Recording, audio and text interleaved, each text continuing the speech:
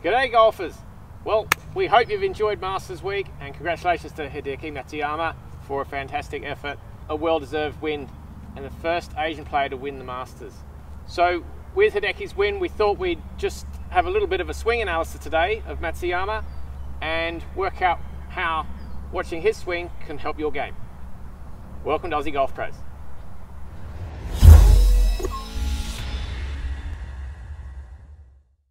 We all know that Hideki has a very distinctive swing, a super long pause at the top of the backswing.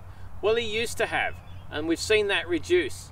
Under the watchful eye of his new swing coach, Hidenori Maezawa, then he has really worked on reducing the amount of pause that he has at the top of the backswing. That has helped him to smooth out his tempo a little bit. The pause isn't a bad thing, and it's definitely what we're going to be talking about today, but obviously he was just overdoing it a little bit. So let's have a look at, at the pause going back a few years and let's have a look to see how much of a break he does have at the top of the backswing. And we can see that when he gets to the top of the backswing like that, with that big pause, he's able to transfer his weight very aggressively and get a lot of downforce into the ground, a lot of vertical launch, and that's a powerful move. But that pause really does affect the tempo and it, it can get too long, as we see in recent years with Hideki. He's had some great wins, but he's definitely playing better now, which is great to see. So should you pause at the top of the backswing? In the short answer is yes. If you feel like you're rushing the downswing a little bit and getting a little bit over the top, starting the downswing with the upper body, using the arms and shoulders to start your downswing, then you're definitely going to benefit from pausing at the top of the backswing, at least in your practice. Now, if you try to pause like Hideki Matsuyama, then I guarantee you, you're only going to perform a fraction of that pause. It's going to feel like you're up there long enough to make a cup of tea, and then you video it, record it, and look at it back, and you'll find that there's hardly any pause at all. I know, I've asked many players to see if they can pause at the top of the backswing, and very few players can do it. We're all in such a hurry to start that downswing, and that is the problem. We want to generate all of that speed and power, and quite often, a lot of golfers use the upper body muscles to try to generate that power. And actually, we want the reverse to happen. So, I'm sure as a drill going back in his teenage years, then Matsuyama was pausing at the top deliberately to try to get ground force energy and leg and hip power to initiate the downswing sequence. And that's what we want to achieve. So as a drill, it's super. Encourage you to go ahead and do it, but I also encourage you to video yourself to see how much of a pause there actually is. I guarantee you it won't be much, at least not to start with. Now if we can get the hang of that and generate more ground force energy, more vertical launch through the shot, then we can increase our club head speed and hit the ball further. Let's have a go.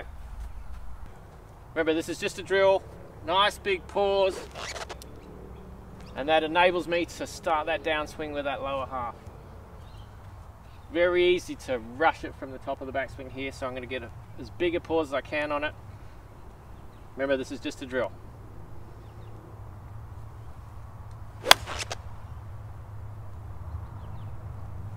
Well, I'm sure that wasn't much of a pause, but it felt like a lot to me.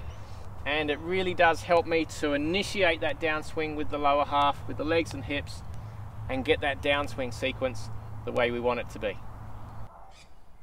So the other thing that we're going to talk about with Hideki's swing is where he's pointing the shaft at the top. Hideki has always laid the club off quite a lot. Some players do that, and it's not just Matsuyama, uh, Dustin Johnson, Sergio Garcia, Lee Trevino used to do it as well. So what that does is it helps players to get into the slot, to get nice shallow and, and that flatter plane into the downswing. These players that go across the line at the top, they have to reroute the club. So think players like Jim Furyk or Matthew Wolff, where they get over here and then they reroute the club into that shallow position. A lot of players don't like to do that or, or can't do it. So it helps them, if they lay that club off, to then just drive into the downswing and the club comes in shallower.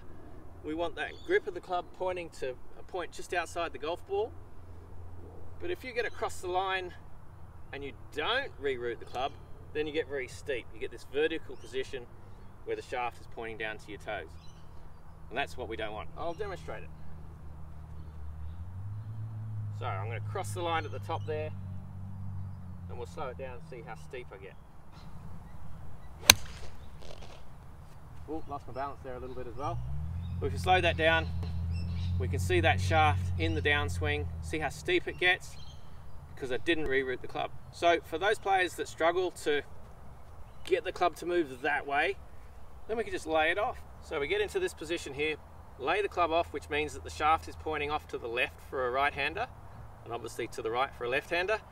And then just turning through, you can see that shaft is now in that very shallow position, and the shaft is pointing outside the golf ball.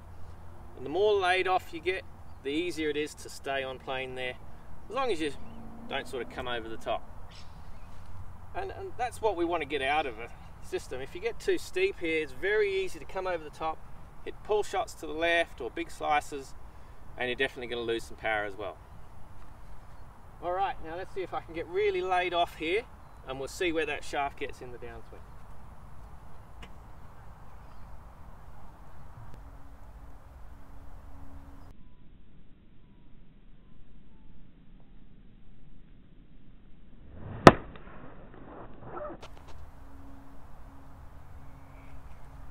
We can see that it's a shallower downswing. It's not as shallow as someone like Sergio Garcia, but it's a shallower, better shaft position. That's more powerful, more consistent, and the club face is going to be more stable with that shaft position in the downswing. So plenty of different ways of doing it, but the two main ways, just getting up to the top and crossing the line, but then rerouting the club, aka Matthew Wolff, or players like that, there are plenty of players that don't really want to do that or can't do it, so they lay the club off. Rickie Fowler's the other one that comes to mind, really lays the club off, and that helps those players to get that shaft into that slot, into that powerful position, nice and shallow, with the shaft pointing to a point just outside the golf ball. They don't want to get the shaft over here. Very few players on tour get that shaft steep. There are a couple, but most of these elite players get that shaft very shallow. So to recap, pausing at the top of the golf swing, great drill if you really want to improve that sequence, that transition, get the lower half, starting that downswing and letting the upper half follow rather than being in such a hurry. We're always in such a hurry to start that downswing with our arms and shoulders, so it's a super drill for that. But video yourself and see how long that pause gets. I think you'll find that it's a very short pause. It feels like a long time, but it's, it, it is actually a very short pause. And if you struggle to reroute the club in that transition and you're trying to shallow the club, then experiment with laying that club off.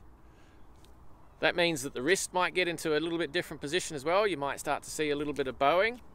Everybody's different. But if, if you can't reroute the club and shallow it out from a, a straight or across the line position, then trying to lay the club off does help you to get into the slot in the downswing. It's worth noting also that this win by Hideki Matsuyama really does put Srixon and Cleveland on the map. It's the second major win in recent times with the Srixon driver in the bag. Shane Lowry won the Open using it. And obviously Hideki's using the ZX Srixon irons as well. They really are amazing. Check them out at your local pro shop. Thank you so much for watching. I hope you've enjoyed this video and we look forward to seeing you again next week. Are you the best golfer you can be?